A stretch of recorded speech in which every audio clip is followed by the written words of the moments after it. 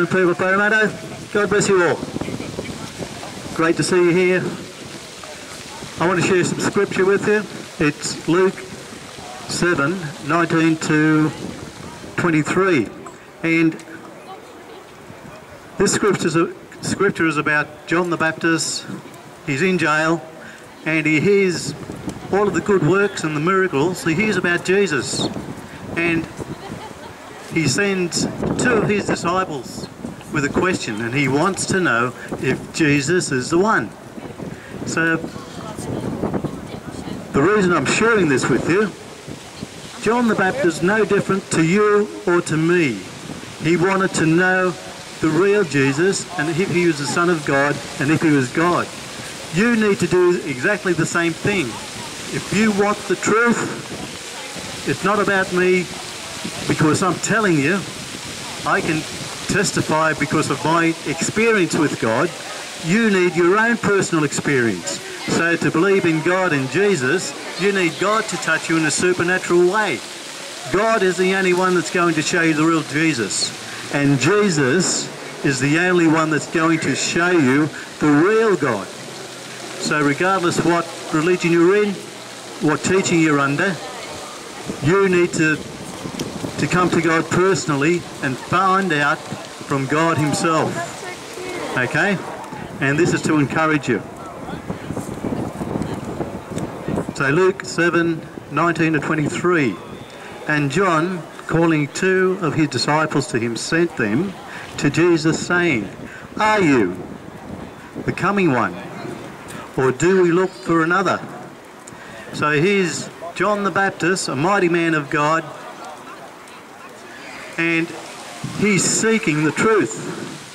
And and it goes on to say that, and at that very hour, he, that's Jesus, cured many of infirmities, afflictions, and evil spirits. Jesus answered and said to them, Go and tell John the things you have seen and heard.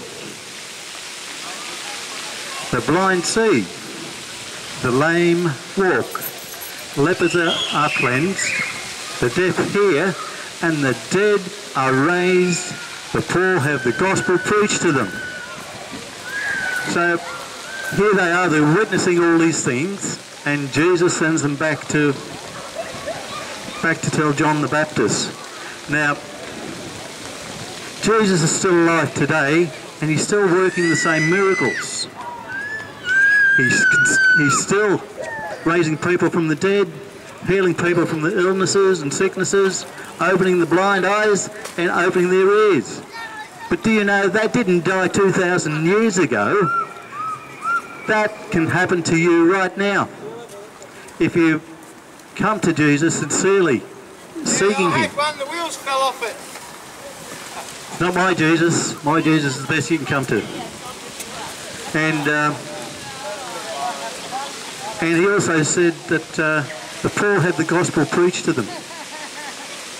And blessed is he. Blessed is he who who is not offended because of me.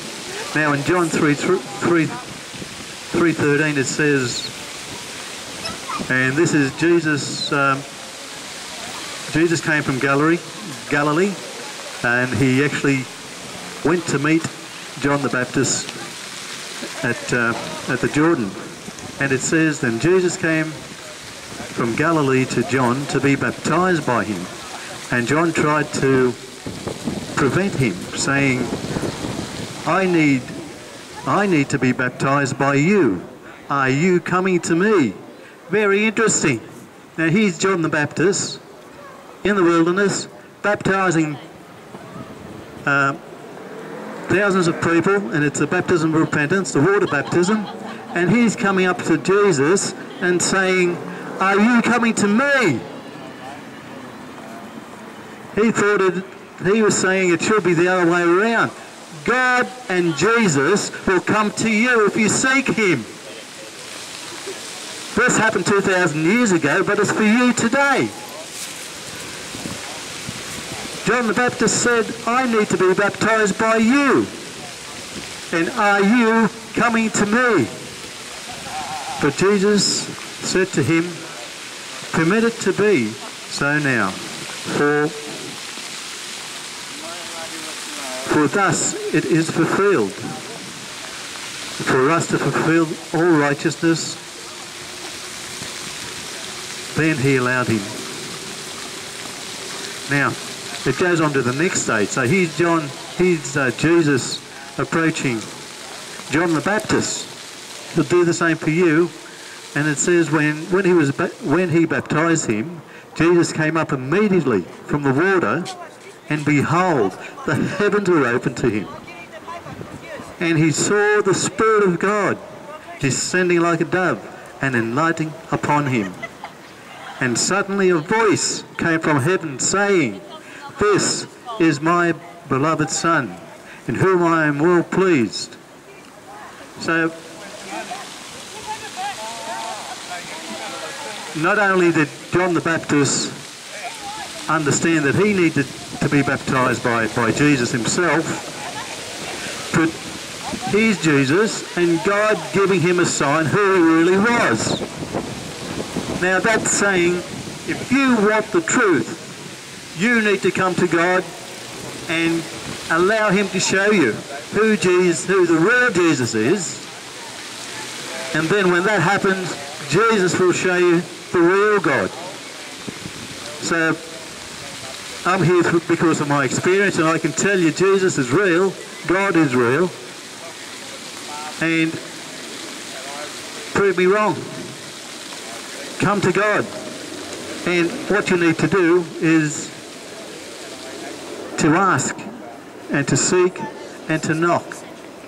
So it won't happen without you taking a step and it won't happen if you don't give God permission to enter your heart. He's just waiting to, to forgive your sins. Um, and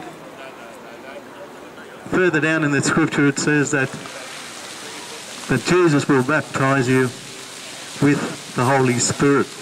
Now, salvation, there aren't many roads to God. If you want to spend eternity in heaven, there's only one way to get there, and it's only through Jesus Christ.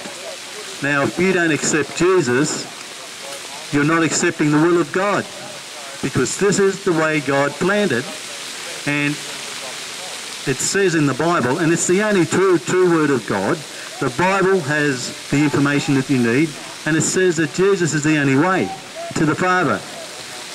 He's the way, the truth, and life. And he says no one comes to the Father except through me. You can't come through any through a religious um, community. Um, I've grown up in a, in a Christian community, so I've, I've grown up in the, the Word of God, in the foundation, but to know God personally, you've got to really you have to step out of your your uh, religious state and come one to one to God and seek a personal relationship and allow God to touch you supernaturally. But the only way you're going to get salvation is through Jesus. And the true teaching is Father, Son, and Holy Spirit. If you're a, a confessing Christian and you don't accept Jesus, or you only accept Jesus as Son, but you don't accept God as Father, Son, and Holy Spirit, that's the wrong teaching. And that's enough to send you to hell. Because without believing in the true Jesus, and it's, and it's impossible for you to be born again unless you allow God to show you the truth. That's why you need to come to God to, to show you. Now I'm going to invite you to open your hearts and Make Jesus your Lord and your Saviour. Ask for the power and the anointing of the Holy Spirit, the presence of God to fill your heart and become, be adopted in the family and receive your salvation. So, and you'll be set free from your sins, your health, uh, your torments, and your chains will be broken. All because of the blood of Jesus. So share this prayer with me. I repent of my sin, Jesus died for me, and that he was crucified. Jesus died he rose me. from the dead. He was crucified. He arose from the dead.